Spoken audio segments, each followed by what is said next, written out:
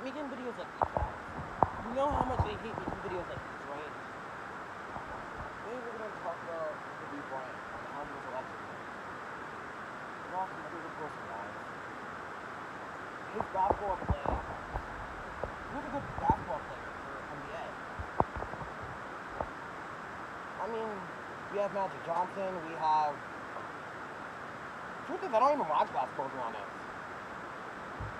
So R.I.P. Kobe Bryant and his daughter.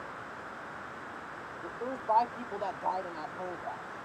And Kobe Bryant was was one of the unfortunate five people on that plane, helicopter accident. I got the information from my parents when I came back from walking my dog. Of course, I saw this on YouTube. Parents informed me that Kobe Bryant is gone. Good legend. His legacy will be carried on.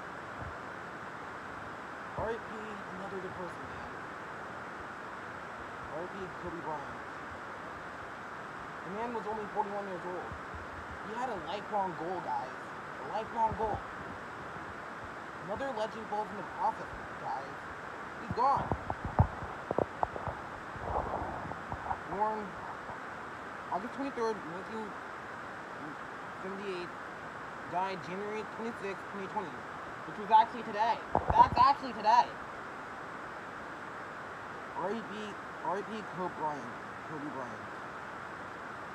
Legend in the process, guys. If anyone is related to Kobe Bryant at all, I leave you condolences. Also, rest in peace to Diana Bryant. I think that's his daughter. Because you guys know how I hate making videos like this, so. I mean, we lost so many legends, guys. I mean, look back. We lost. We lost Juice WRLD. We lost Lil Peep. We lost Mac Miller. Lil Snoop. Big Pun. Tupac. Biggie. I said Lil Snoop, right? Did? Oh, this is sorry. So, RIP to the good legends, man. Also, one thing I on this video. R.I.P. Angry Grandpa. Angry Grandpa was a legacy too, guys. It's unfortunate that Charles Green died.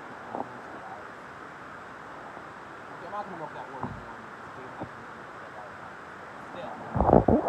R.I.P. Kobe. R.I.P. Kobe Bryant.